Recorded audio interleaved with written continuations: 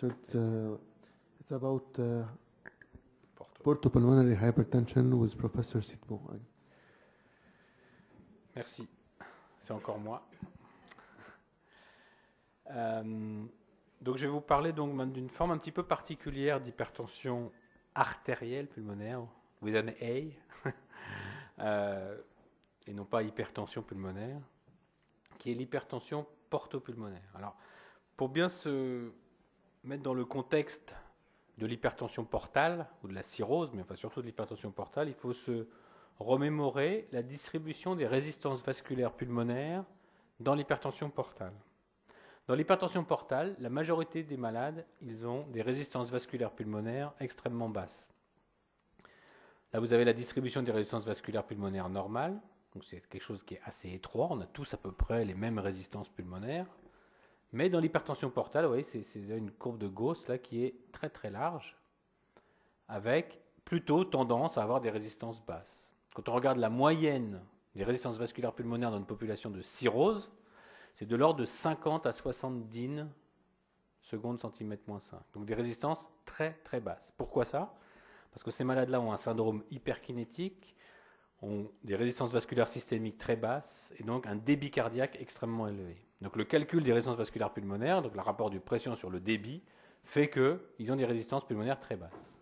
Et d'un côté de la, de la, courbe, là, vous avez des malades qui ont des résistances vraiment très très très très basses, liées à une vasodilatation pulmonaire très importante, et un chien intrapulmonaire et une hypoxie. C'est ce qu'on appelle le syndrome hépatopulmonaire. Et à l'autre bout de la courbe, vous avez des malades qui au contraire ont des résistances pulmonaires élevées, avec du, remodelage vasculaire, ce qu'on appelle l'hypertension portopulmonaire. Alors il faut bien distinguer les deux choses. C'est deux choses qui sont totalement opposées et qui ont probablement une physiopathologie très similaire. Donc il y a beaucoup de gens qui mélangent hépatopulmonary syndrome ou syndrome hépatopulmonaire et hypertension portopulmonaire. C'est deux choses complètement opposées. Quand on regarde les différences entre ces deux maladies, vous voyez que, en gros, la seule chose qui, qui, rejoint les deux maladies, c'est l'essoufflement, c'est la dyspnée.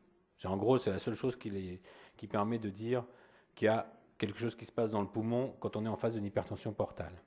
Et puis sinon, c'est exactement l'inverse. Hein. C'est-à-dire que les, hypertensions portopulmonaires sont peu hypoxémiques, ceux-là sont très, hypoxémiques. Ceux-là ont un chant intrapulmonaire, ceux-là n'en ont pas, ou éventuellement un chant intracardiaque, mais qui n'a rien à voir. Dans l'hypertension portopulmonaire, les résistances pulmonaires sont élevées, là elles sont basses, etc. Et puis vous verrez que dans, le syndrome portopulmonaire, le seul traitement, c'est la transplantation hépatique qui guérit de cette maladie, qui permet la guérison de cette maladie, alors qu'il n'y a pas d'indication, au contraire, dans l'hypertension portopulmonaire. Donc bien retenir que c'est deux maladies totalement opposées. Totalement opposées. Alors quand on, quand on regarde ce qui se passe dans l'hypertension portale, il y a plein de raisons d'avoir une élévation de la pression artérielle pulmonaire. La première raison, c'est que on a un débit cardiaque qui est très élevé, et rien que le fait d'avoir un débit cardiaque très élevé peut entraîner finalement une augmentation de la pression. Mais dans tous les cas, les résistances restent basses. Ça, c'est vraiment le tableau très typique que l'on observe dans l'hypertension portale. Plus ou moins une surcharge volumique importante, donc volume overload, on a l'élévation de la pression, mais également une élévation de la pression capillaire, qui fait que bah, finalement les résistances, elles restent basses. On ne peut pas parler d'hypertension portopulmonaire quand on a ce profil hémodynamique-là. Pour parler d'hypertension portopulmonaire, il faut avoir une hypertension portale, c'est sûr, une élévation de la pression, et surtout une élévation des résistances. C'est-à-dire que pour pouvoir parler d'hypertension portopulmonaire, il faut avoir une élévation des résistances. Ça, c'est ce que je vous disais tout à l'heure, c'est les petits carrés blancs, là, ce sont des cirrhoses sans maladie, sans maladie pulmonaire. Voyez que leurs résistances sont très très basses. Hein. Toutes les, tous ces malades ont des débits cardiaques très très élevés, mais des résistances très très basses, en général inférieures à 120, mais plutôt aux alentours de 50. Et puis les hypertensions portopulmonaires, vous voyez, ils sont ici plutôt au-dessus de, 3 unités Wood, donc 240 DIN. Ce qui fait que la définition de l'hypertension portopulmonaire, c'est 1, avoir une hypertension portale, avec ou sans maladie hépatique. Avoir une PAP moyenne plus de 25, ça c'est la définition de l'hypertension pulmonaire. Une wedge à moins de 15, c'est la définition de l'hypertension pulmonaire précapillaire. Et des résistances à plus de 3 unités Wood. Donc vous voyez que la seule façon d'en faire le diagnostic, c'est de faire un cathétérisme cardiaque droit, puisque euh, sans cathétérisme, on ne peut pas mesurer les résistances vasculaires pulmonaires. Alors ce syndrome-là, ça a été décrit pour la première fois il y a, maintenant 60 ans à peu près. ce qui était intéressant, c'est que la première fois que ça a été décrit, c'est un malade qui n'avait pas de cirrhose. C'est un malade qui avait une thrombose portale. Donc ce n'est pas la maladie hépatique en soi qui est responsable de l'hypertension pulmonaire, c'est l'hypertension portale. On a environ 10% des malades qui n'ont pas de maladie hépatique, qui ont une hypertension portale sans maladie hépatique. Et je vous expliquer pourquoi. Je vais vous expliquer pourquoi c'est plutôt l'hypertension portale que la maladie du foie qui est responsable de toutes ces affaires-là. Alors l'hypertension portale, ça fait partie donc du groupe 1 des, hypertensions artérielles pulmonaires, PAH, hein, au même titre que l'infection par le VIH, la sclérodermie ou d'autres maladies. Maintenant, on a le droit aussi d'avoir une maladie du cœur gauche, on a le droit d'avoir aussi une maladie respiratoire, et donc il faut quand même faire une évaluation complète quand on a un malade qui a une suspicion d'hypertension pulmonaire dans le cadre d'une hypertension portale. Alors c'est quand même assez fréquent. Alors aux États-Unis, non. aux États-Unis, c'est très rare. Aux États-Unis, c'est 5% des hypertensions pulmonaires, c'est des hypertensions portopulmonaires. En France, l'hypertension portopulmonaire, c'est 20%. C'est 20% de l'ensemble de toutes les hypertensions artérielles pulmonaires. C'est énorme. Pourquoi ça? Bah, Parce que nous, on connaît ça, et puis qu'on la recherche surtout. Alors qu'aux États-Unis, ils attendent que les malades soient référés pour la greffe hépatique pour dire, tiens, il y a peut-être une hypertension pulmonaire qui va contre-indiquer la transplantation hépatique. Et c'est ça qui fait la grosse différence entre, entre nous, entre ce qui se passe en France et ce qui se passe euh, aux, États-Unis. Vous voyez, nous, c'est presque autant que les maladies de système. C'est plus que la sclérodermie. Il faut imaginer ça. En France, l'hypertension portopulmonaire, c'est plus fréquent que l'hypertension artérielle pulmonaire associée à la sclérodermie. C'est plus fréquent. C'est la deuxième cause après les formes idiopathiques. C'est quand même très fréquent parce qu'on le recherche. On le recherche systématiquement. Alors la prévalence de l'hypertension euh, pulmonaire au cours de la cirrhose, vous voyez, en gros, hein, sur des études euh, hémodynamiques, c'est environ 2%. C'est quand même pas mal parce que l'hypertension portale, c'est fréquent. Donc 2% des malades ont une hypertension pulmonaire. Ça semble être un peu plus fréquent chez les transplantés, chez les futurs transplantés hépatiques. Pourquoi? Parce que là, on la recherche. Alors que dans les autres, on ne le recherche pas forcément. C'est sûrement un biais. Vous voyez qu'on retrouve à peu près toutes les causes d'hypertension portale. Hein. C'est-à-dire que ça, c'est notre série qu'on avait publiée en 2008 dans le Blood Journal avec Jérôme Lepavec. On a, donc on avait 150 et quelques patients. On a quand même des malades qui n'ont pas de cirrhose, hein, des hypertensions portales, Budd-Chiari, schistosomiase. Et puis on a des malades qui ont à peu près toutes les cirrhoses possibles, et surtout alcool et hépatite virale. Et puis on, a aussi des malades qui, ont des cirrhoses peu sévères, hein, environ la moitié ont des cirrhoses peu sévères, hein, Child Pug A. Donc c'est des malades chez qui peut-être qu'on ne les recherche, les recherche pas assez, en tout cas dans certains pays. Alors les lésions histopathologiques, c'est exactement la même chose que ce que l'on a dans l'HTAP idiopathique. On a exactement les mêmes lésions, d'hypertrophie de la média, des lésions thrombotiques, et même des lésions, des lésions plexiformes. Donc c'est vraiment exactement pareil. Alors la grande question, c'est comment on passe de la hypertension portale à la hypertension artérielle pulmonaire. Comment on passe du poumon, du foie, pardon, au poumon. Alors ce que je vais vous raconter là, c'est très hypothétique puisqu'il n'y a rien de très prouvé pour la physiopathologie de l'hypertension portopulmonaire. Ce que l'on pense, c'est qu'il y a plusieurs mécanismes qui sont impliqués. un mécanisme assez simple à comprendre, c'est l'hyperdébit, hein, donc le syndrome hyperkinétique, l'augmentation du débit cardiaque, qui entraîne des, lésions de, shear stress, exactement comme ce que l'on observe dans les cardiopathies congénitales, dans les CIV, les CIA, et c'est ça qui va donner de l'hypertension artérielle pulmonaire. C'est une, une, vision, à mon sens, un peu simpliste. Autre façon de voir les choses, c'est qu'il y a des modifications inflammatoires importantes, en particulier dans les cirrhoses, qui pourrait être responsable bah, d'un afflux de cytokines, de facteurs de croissance, etc. dans la circulation pulmonaire. Et c'est ça qui serait à l'origine du problème. Là aussi, c'est une hypothèse un peu courte, puisque euh, bah, y a des malades qui n'ont pas de cirrhose, donc qui, qui, vont quand même développer une hypertension pulmonaire. Et puis la dernière hypothèse, c'est à mon avis la plus intéressante, c'est que quand on a une hypertension portale, on crée des chintes portosystémiques. Donc il y, a une, circulation collatérale qui se fait entre la circulation portale et la circulation cave. Eh ce sont probablement ces chiens de portosystémiques qui vont être à l'origine de la mise en circulation de bactéries et d'endotoxines qui vont produire, qui vont stimuler la production de substances vasoconstrictrices, de facteurs pro-proliférants, de facteurs de croissance en particulier, qui vont donc agir au niveau des artères pulmonaires. Ça, c'est l'hypothèse et ça explique pourquoi, bah, quand, on crée par exemple un TIPS, quand on crée artificiellement un shunt portosystémique à quelqu'un qui a une hypertension portale, eh bien dans un certain nombre de cas, ces malades-là vont développer une hypertension artérielle pulmonaire, parfois même assez rapide.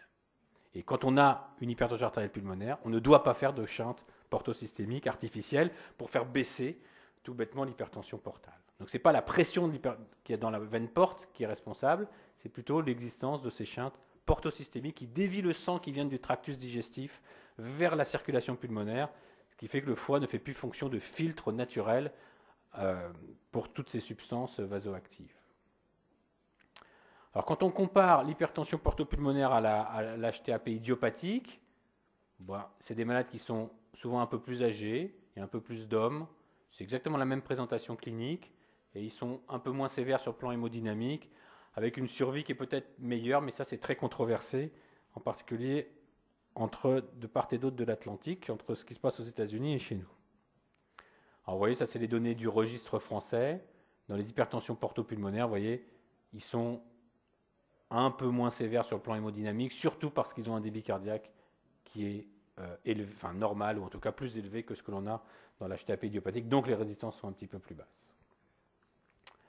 Alors la survie, la survie de ces malades-là, c'est très différent entre ce qui se passe aux États-Unis, où les hypertensions portopulmonaires, c'est catastrophique par rapport aux HTAP idiopathiques, et ils continuent à nous dire ça, les Américains.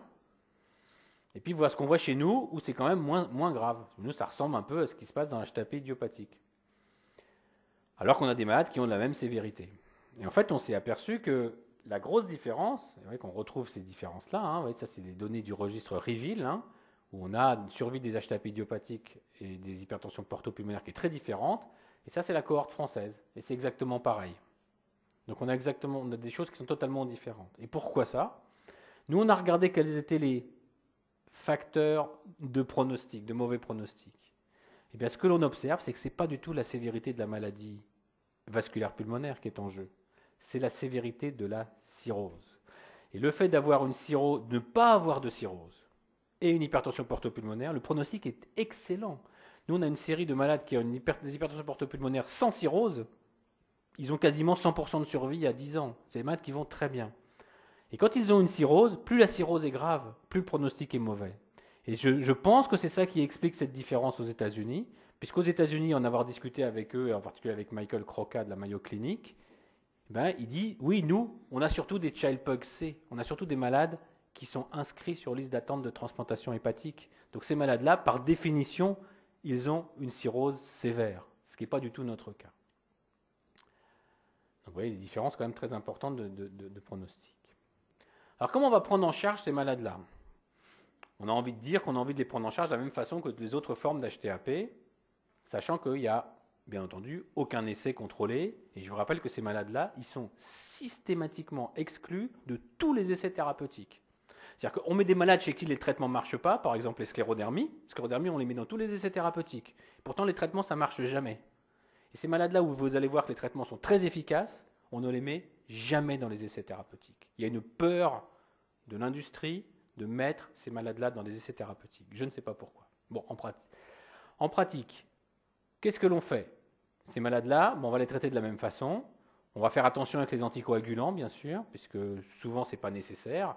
Souvent, il y a des, thrombopénies, souvent, il y a des troubles de l'hémostase qui font qu'on n'a pas besoin de mettre d'anticoagulants.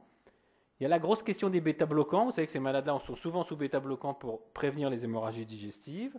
Et nous, on a montré que le simple fait d'arrêter les bêta-bloquants chez ces malades-là, eh bien, ça les améliore. Vous voyez, ça, c'est une, série de malades à, qui la seule intervention, ça avait été d'arrêter les bêta-bloquants. On a un gain important de test de marche uniquement parce qu'on a arrêté les, bêta-bloquants.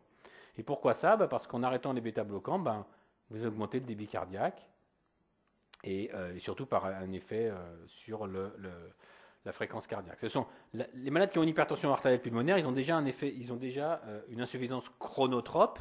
Si vous leur mettez en plus des bêta-bloquants, ça ne va pas arranger les choses. Et c'est des malades qui tolèrent souvent très mal les bêta-bloquants.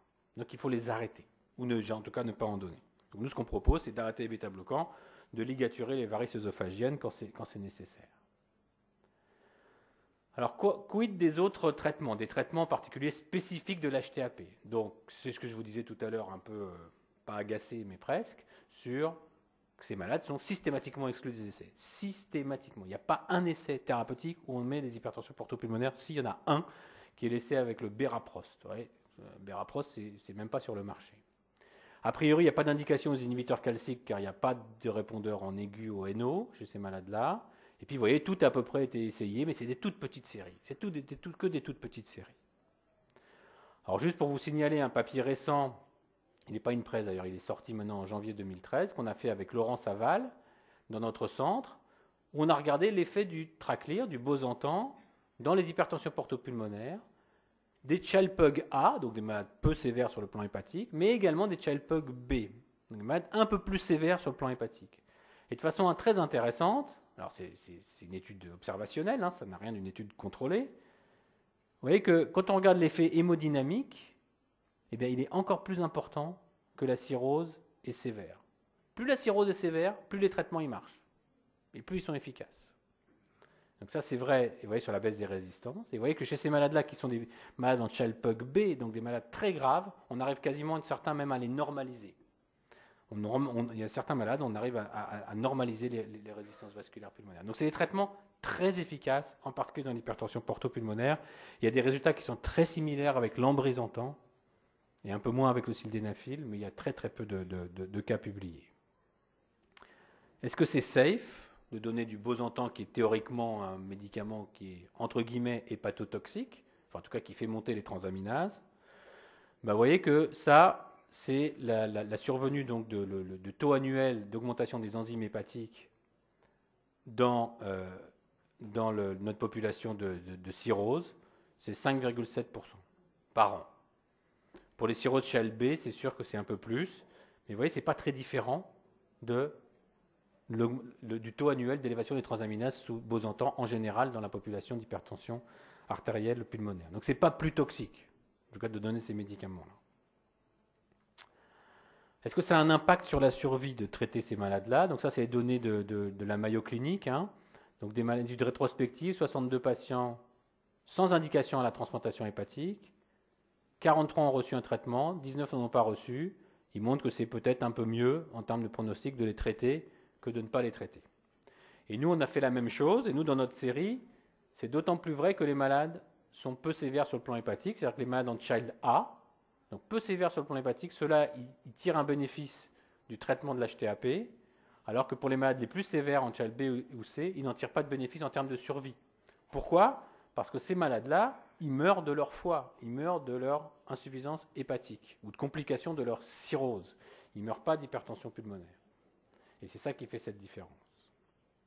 Et vous voyez que c'est très bon les résultats.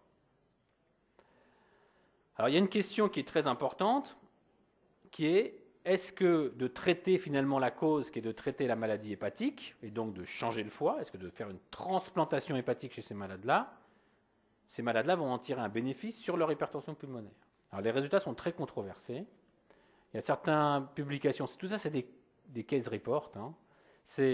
Qui nous disent l'hypertension portopulmonaire c'est réversible, d'autres qui disent c'est pas réversible, d'autres qui disent ça peut même survenir après. Et en fait quand on regarde en détail ces cas-là, tous sauf un, tous sauf un, montrent que c'était des hypertensions pulmonaires liées à un syndrome hyperkinétique. Donc c'est sûr que quand vous avez une hypertension pulmonaire liée à un syndrome hyperkinétique, un débit cardiaque très élevé, quand vous normalisez le débit cardiaque, bah, la pression elle va baisser pareil et les résistances elles vont rester les mêmes. Juste pour vous illustrer ça.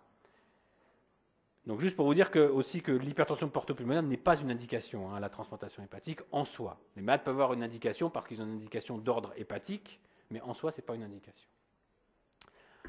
Alors, ça, c'est le seul cas dans la littérature où on a une vraie réversibilité de l'hypertension pulmonaire après transplantation hépatique. C'est une petite fille de 10 ans avec une, hépatopathie euh, idiopathique, je ne me souviens plus, quelle- non, je crois qu'il n'y a pas de cause particulière. Cette malade, elle a été transplantée et six ans après, voyez, elle n'a plus d'HTAP. Bon, elle baisse vraiment ses résistances pulmonaires. Dans le même papier, vous avez cette malade-là qui également a été transplantée et un an après, voyez, elle baisse ses pressions, elle normalise ses pressions, mais elle baisse aussi son débit. Et donc les résistances, c'est à peu près les mêmes. Donc c'est ça ce que j'appelle le syndrome hyperkinétique qui régresse après transplantation. Ce ne sont pas des vraies hypertensions portopulmonaires, ça. C'est uniquement un syndrome hyperkinétique qui régresse parce qu'on change le foie. Alors pourquoi il faut, c'est très dangereux la transplantation hépatique chez ces malades-là? D'abord parce que la transplantation hépatique, ça entraîne une instabilité hémodynamique très importante. En particulier quand on fait l'hépatectomie, qu'est-ce qui se passe? On diminue la précharge, on diminue la pression, on diminue le débit cardiaque de façon très importante, et en particulier si on doit clamper la veine cave inférieure. Et au moment où on remet le nouveau foie, le greffon, dans la perfusion, on reperfuse le greffon, eh bien là, très brutalement, on va avoir une augmentation de la précharge, une augmentation de la pression, du fait du, relargage de cytokines par le, greffon hépatique.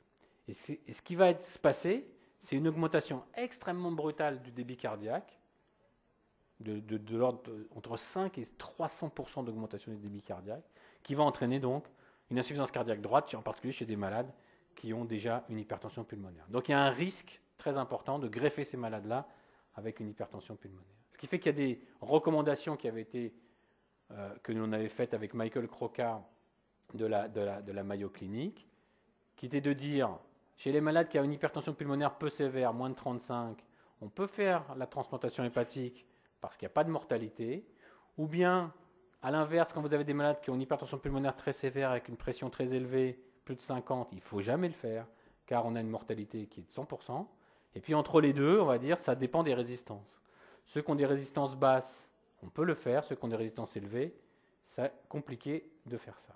Donc l'idée, c'est chez ces malades-là qui ont, pour lesquels la transplantation hépatique est contre-indiquée, or on sait que ces malades-là, ils vont mourir de leur foie, ils ne vont pas mourir de leur HTAP, ils vont mourir de leur foie. Eh bien, on peut peut-être essayer d'améliorer l'hypertension pulmonaire, car ce sont des malades qui réagissent très bien au traitement, de manière à les amener à des résistances suffisamment basses pour pouvoir permettre la transplantation hépatique. Alors un petit exemple, vous, voyez que vous allez voir que c'est compliqué. Ça c'est une malade qu'on avait eue en, en 2003, qui avait ça comme hémodynamique, 45 de moyenne, un débit cardiaque élevé, des résistances élevées, 4.3. On la met à la prostacycline parce que c'était le traitement le plus rapidement efficace et qu'il fallait qu'elle soit transplantée rapidement. On améliore considérablement l'hémodynamique, on normalise quasiment l'hémodynamique.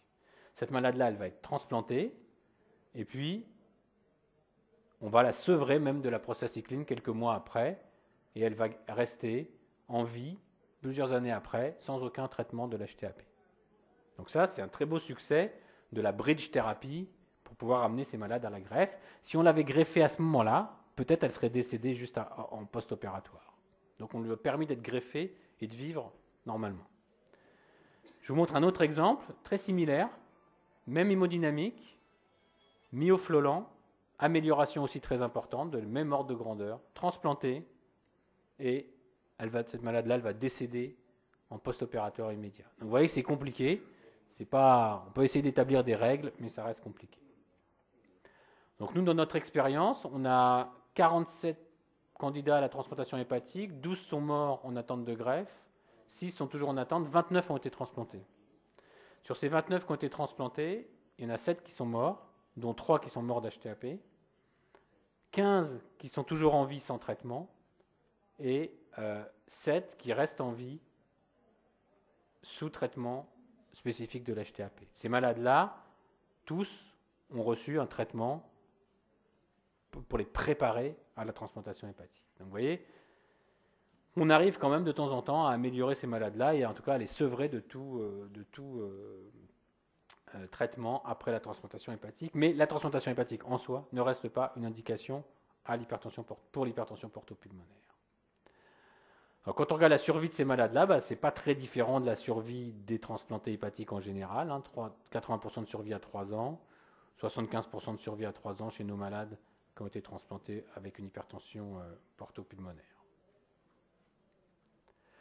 Donc je voudrais terminer par cet algorithme que quand on considère une transplantation hépatique pour la sévérité de la maladie hépatique et uniquement pour ça, on va regarder si ces malades ont une hypertension pulmonaire par une échographie cardiaque et on va confirmer bien sûr par un cathétérisme cardiaque.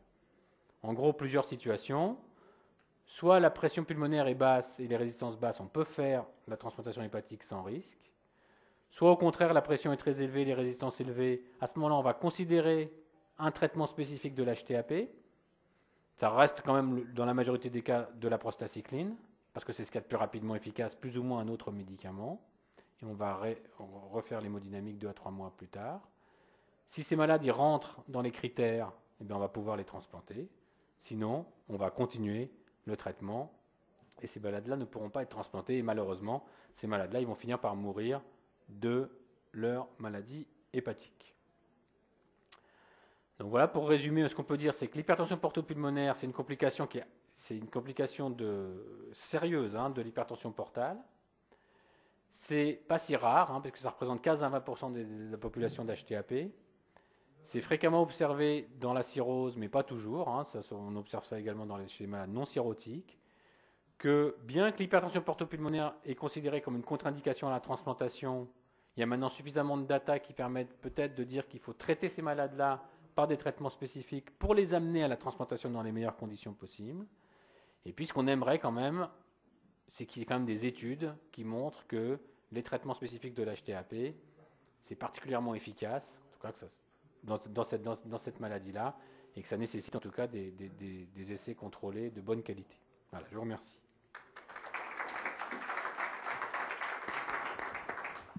Thank you, Dr. Sidbon. And uh, we start now with the questions uh, from the audience. Merci, Monsieur Sidbon. Si vous me permettez, j'ai deux questions. Tout d'abord, est-ce qu'il y a une pression artérielle pulmonaire limite ou autre paramètre hémodynamique au-dessous au de laquelle euh, on recuse la lente d'artériectomie?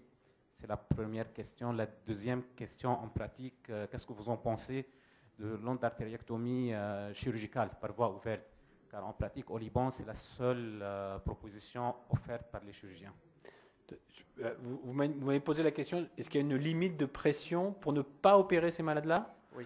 Non, il n'y a pas de limite. Hein. Il faut vraiment, ce que je vous disais tout à l'heure, il faut faire le lien entre l'obstruction vasculaire et les résistances. Et les, et les résistances. Quelqu'un qui a peu d'obstruction et des résistances très élevées, il y a très peu de chances que l'endartérectomie puisse être, puisse être efficace. Quand on a un bon lien, qu'on a une bonne relation entre le degré d'obstruction et le niveau de résistance, à ce moment-là, il y a de bonnes chances, si les lésions sont proximales, qu'on puisse opérer ces, malades-là. Après, sur votre deuxième question, l'endartérectomie, c'est toujours chirurgical, c'est toujours... Euh, c'est endovasculaire, mais il y a des labors euh, chirurgicaux. Euh, non, c'est chirurgical, c'est pas endovasculaire l'endartérectomie, c'est toujours chirurgical. Vous, vous me posez la question voilà, je, pensais qu'il y a deux méthodes. Non, non. non, l'endartérectomie, c'est une intervention très lourde, sous sternotomie. C'est une, intervention chirurgicale extrêmement lourde avec la, circulation extracorporelle, la cardioplégie froide, etc. C'est une intervention extrêmement lourde. Maintenant, récemment, il y a eu des datas montrées par des Japonais en particulier qui, nous ont montré que dans certains cas, on pouvait utiliser de la dilatation comme ils font dans les coronaires, avec la méthode OCT, où ils peuvent comme ça désobstruer les artères pulmonaires. Nous, on est très très dubitatif face à ça parce que euh, on voit pas trop comment ça peut marcher, puisque quand c'est bouché, c'est bouché, c'est bouché tout le long hein, du vaisseau. Donc ce euh, c'est pas en dilatant euh, certains, certains endroits qu'on va arriver comme ça à améliorer les choses. Mais enfin, ils nous ont montré, en particulier au Congrès mondial, là, des résultats qui sont assez intéressants. Donc il, il faudra creuser cette méthode-là. Mais au jour d'aujourd'hui, c'est chirurgical. Ce n'est que chirurgical. C'est-à-dire qu'il ouvre tout le long de la ah pulmonaire. Ah oui, ils ouvrent les artères pulmonaires, oui. Ils ouvrent euh, dans les troncs des artères pulmonaires. Euh, je, vous, euh, je vous remercie de votre excellent exposé. J'ai deux questions à vous poser. Quelle est l'attitude actuelle vis-à-vis des médicaments à visée anorexigène il y a des, pas mal d'années des publications qui ont parlé que ce type de traitements étaient incriminés dans la jeunesse des, A- des HTAP, je parle. Mhm. La deuxième question, euh, comme le cas clinique qui a été mis euh, avant votre exposé, on parlait de cette femme âgée de 65 ans, euh, et si on la traite, on ne la traite pas, euh, où on est avec, euh, j'appelle le traitement d'hygiène de vie comme les diurétiques, l'oxygène, par exemple, dans ce type ou dans ce, ce- ce cas-là, est-ce qu'il nous apporte quelque chose et on n'aura pas besoin, par exemple, de surveiller ou de traiter avec un traitement spécifique après? Je vous remercie. Alors, sur la première question, sur les anorexigènes. Les anorexigènes, vous savez que ça, partie, enfin, ça fait partie toujours hein, des, facteurs de risque d'hypertension artérielle pulmonaire. hein. Il y a eu, il y a eu la, la, la fenfluramine, la dexfenfluramine, enfin, tous les dérivés de la fenfluramine qui ont été... euh, puis récemment, le benfluorex, qui a, été un peu le scandale en France, puisque c'était un médicament qui était resté sur le marché alors qu'il avait été, il était complètement retiré du marché dans plein d'autres pays, euh, européens en particulier. Donc c'est clair que les, les anorexigènes, ça reste des facteurs de risque d'hypertension artérielle pulmonaire. Ça, ça reste vrai. Il n'y a pas de raison que ça change. On peut espérer quand même qu'il n'y a plus d'anorexigènes sur le marché. On peut espérer qu'il n'y a plus d'anorexigènes que l'on trouve même, euh, même comme ça euh, sous le manteau euh, sur Internet. Donc les anorexigènes, ça reste une cause, enfin un facteur de risque d'hypertension artérielle pulmonaire. Sur la deuxième question, sur le traitement symptomatique. Alors, le traitement symptomatique, il est toujours nécessaire. C'est-à-dire que toutes les, les- les HTAP, il faut les mettre sous anticoagulants. S'ils sont hypoxiques, il faut les mettre sous oxygène. S'ils ont des signes de surcharge droite, il faut les mettre sous diurétique. Il faut souvent mettre des fortes doses de diurétique. Ça, ça ne peut pas leur faire de mal. Mais ça ne change strictement rien à l'évolution de la maladie. Il faut bien comprendre ça. Ça ne change strictement rien. Ce sont des traitements purement symptomatiques. Ils ont leur place, mais ce n'est pas avec ça qu'on va guérir les malades.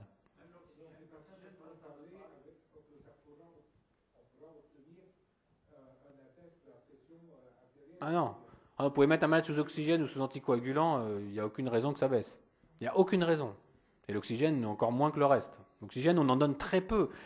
Moi, moi, je laisse des malades avec 50 de PO2, ça leur pose pas de problème. S'ils tolèrent bien, bah, ils ne vont pas s'embêter à garder de l'oxygène. Ça ne sert strictement à rien, l'oxygène. C'est purement symptomatique. Purement symptomatique. Oui. Avocat, merci Claire. J'ai un commentaire et une question à vous poser.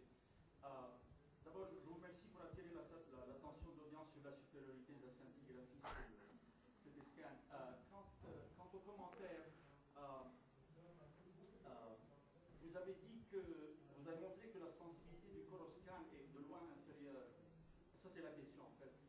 Pourquoi donc faire, un- une fois qu'on a détecté la- une scintigraphie anormale, pourquoi ne pas aller directement à l'angio un Hein, Parce que ça donne, des ça donne des informations qui sont complémentaires. Ça donne des informations quand même complémentaires d'avoir les deux. Et de plus, on fait de plus en plus maintenant de, de CT, même plus que d'angio. C'est-à-dire qu'un un, mal- un malade qui a une obstruction très proximale, qu'on voit très bien au scanner, ça nous arrive de même pas faire l'angiographie pulmonaire.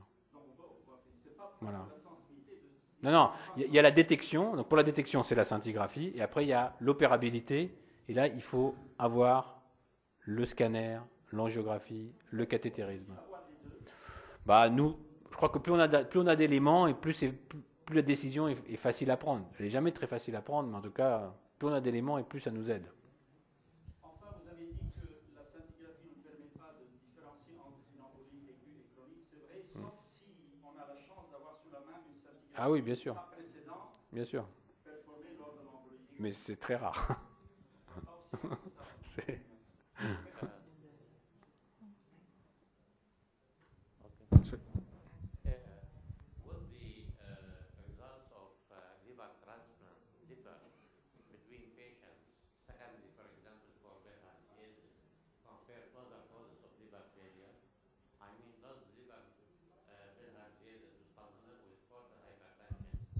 with portal hypertension uh, give a favorable outcome more than other causes of liver failure?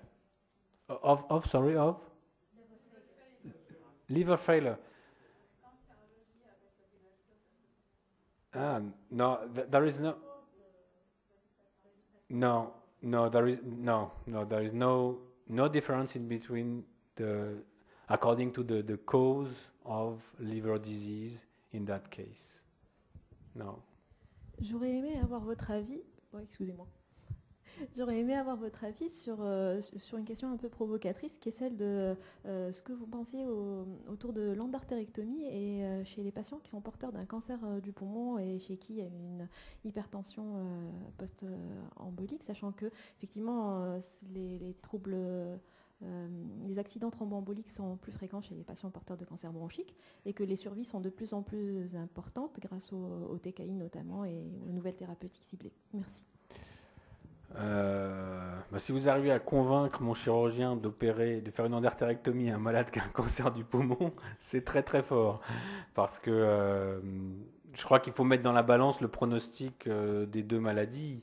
Et un cancer du poumon non opérable, parce que quelqu'un qui a une hypertension pulmonaire post-embolique et un cancer du poumon, par définition, le cancer du poumon ne va pas être opérable. Donc on va se retrouver avec un cancer du poumon non opérable. Donc avec un pronostic très mauvais quels que soient les médicaments qu'on peut utiliser.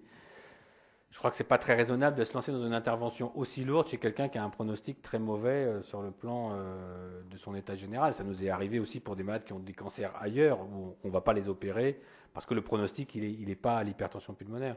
Donc je crois qu'il faut vraiment des cas individuels à discuter à discuter au cas par cas. Moi je convaincrai jamais Philippe Dartevel d'aller opérer de faire une endartérectomie à un malade qui a un cancer du poumon.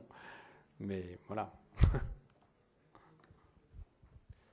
Euh, Je reviens sur la question de thromboendartérectomie. Ici au Liban, on n'en a pas, on n'a pas, M. Dartevel.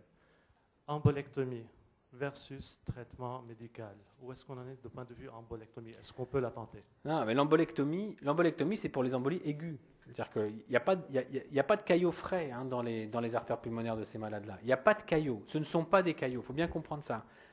C'est du matériel épais qui tapisse les artères pulmonaires. Mais il n'y a pas de caillots. Il n'y a plus de caillots. Les caillots, c'est fini. Les caillots, c'est à l'embolie aiguë. Donc dans l'embolie pulmonaire grave aiguë, embolectomie, pourquoi pas, euh, versus thrombolyse. Bon, ça c'est un autre euh, débat, c'est pas, pas du tout. Mais dans la maladie thromboembolique chronique, dans le CITEF, il n'y a pas de caillots. Ce sont des, c'est du matériel qui tapisse l'endartère. Il peut y avoir parfois des caillots. euh, ça peut arriver, c'est pour ça qu'on demande toujours que ces malades soient sous anticoagulants au moins trois mois avant de les opérer. Mais voilà, mais en pratique, c'est pas l'embol- l'embolectomie ne sert pas à grand chose. Et ça, ça il- Philippe Berthevel, il commence toujours ses topos comme ça. Il dit toujours, ce n'est pas de l'embolectomie, c'est une trom- de n'endartérectomie. C'est pas la même chose.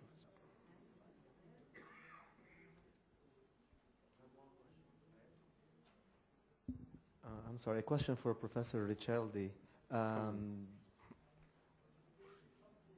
in terms of patients who have interstitial lung disease and uh, who seem to be more dyspneic than their uh, um, level of um, um, honeycombing or whatever is uh, concerned, um, to consider on a case-by-case basis whether they would be appropriate for, if they have pulmonary hypertension, is there a place for uh, maybe testing reversibility during right heart cath to see whether those patients would probably benefit from uh, a specific therapy, say sildenafil or others? Is there uh, evidence to support that? There is not real evidence to support that, but there are some centers they do it. I mean, the reversibility test during cath they do it, in particular for cancer channel uh, blockers. The, the point is that when we see patients with relatively minimal disease on high resolution CT scan and very low DLCO, in the absence of very extensive emphysema, usually you have an increase in pulmonary resistance. And so for those patients, usually we tend to try a trial of, of, of, of drugs.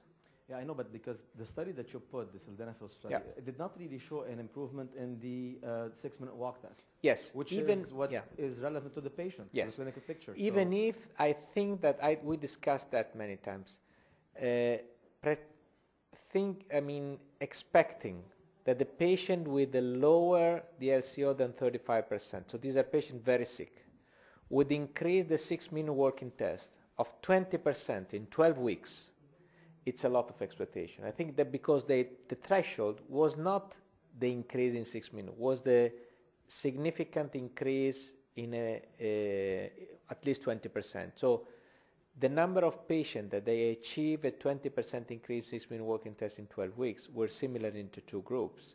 But when you look at the single changes in six-minute walking test in terms of meters, there were more in the patient treated with sildenafil. So again, in this patient, it's also very different to design a clinical trial. Even the Artemis trial, the Ambrisental trial, was very difficult to be designed. And in uh, it, also in the in the STEP IPF trial, we don't know how many patients actually they had pulmonary hypertension. Based on the Artemis trial, they should be at least 10%, maybe more than that, but we don't know. So when you decrease the number of patients with pulmonary hypertension and you expect at least 20% increase in six-minute walking test, I think that's a lot. But you, I, I have a question for you. That's good. That's not a good sign. Yeah. because in, in our experience, when we try to treat those patients with severe pulmonary hypertension and IPF or interstitial lung disease, Yeah. or disproportionate Yeah. pulmonary hypertension, Hypertension. very often we observed an improvement in hemodynamics, very Yeah. often, as you, as you showed. But the problem we have is, for the vast majority of patients, we observe also a major decrease in PaO2. Yeah. So those patients does, do not improve clinically because they decrease PO2 and they need more oxygen, so Yeah. their quality of life do not improve. Yeah. Uh, The shunting effect, yes, that's, that's something that, that yes. I, I, I don't know what, what is your experience. That's why, the mean, i- it's very anecdotal with these patients. Some patients, that will come back, they will tell you, yes, doctor, I'm working more, I'm feeling accident. You don't know how much of this is a placebo effect. I agree with you that when you look at the data, the, um, the vascular parameter, they improved because the drug works, but at the same time, you still have the disease there, so there's not improving the disease yet. Uh, my question about scleroderma actually induced. Uh, we have these two patients who were referred to us by rheumatology, and they have both uh, uh, pulmonary hypertension and interstitial lung disease. Now, in this patient, do you think these two entities came together? One came after the other, like pulmonary hypertension was caused by an ILD, because you decide, are you going to decide to, to treat them or not with uh, pulmonary hypertension? So the scleroderma patients are particularly challenging because the cause of disease in scleroderma is the lung disease. So the, the reason why patients die is because of respiratory failure, mostly. It means that the interstitial lung disease in scleroderma is a clinically relevant part of their disease. And when there is associated pulmonary hypertension, usually these patients, they're even more sick than the patient with ILD. I don't know what coming first, what is coming for, or they are a totally different group of patients, those with pulmonary hypertension. What I know is that those patients, we treat basically all of them for the pulmonary hypertension. And a difference with patients with IPF, we see some improvement in terms of uh, exercise testing. I don't know if it's your experience too. Yes, I agree. Yeah.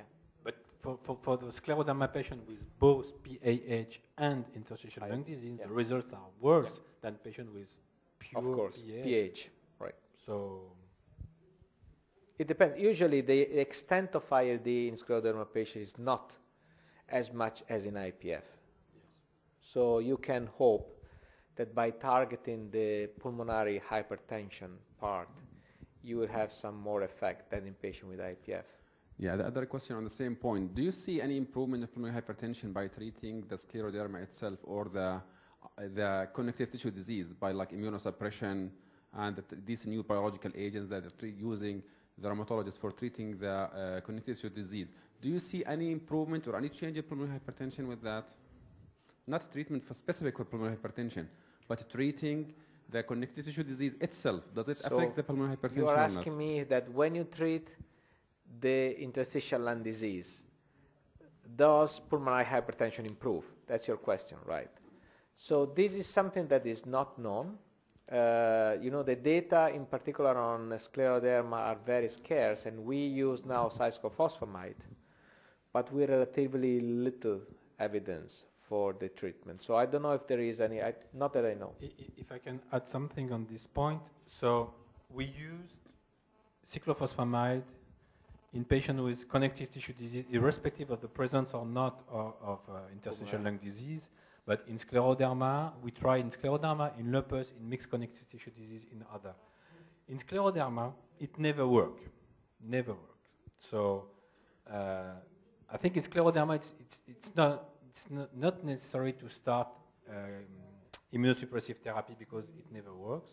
However, in lupus and in mixed connective tissue disease associated PAH, it is very interesting to consider the treatment of, of, the, of, the, of the disease, of the lupus, by immunosuppressive therapy because some patients dramatically improved their, their pulmonary hypertension only with immunosuppressive therapy. And it's particularly true in lupus and in mixed connective tissue disease patients.